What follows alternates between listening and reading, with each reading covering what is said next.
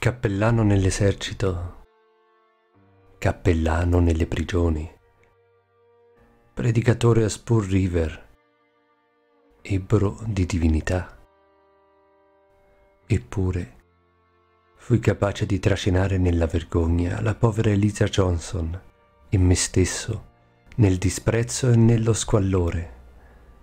Ma perché non volete mai capire che l'amore delle donne, così come l'amore del vino, sono gli stimolanti attraverso cui l'anima affamata di divinità raggiunge l'estatica visione e scorge gli avamposti del paradiso.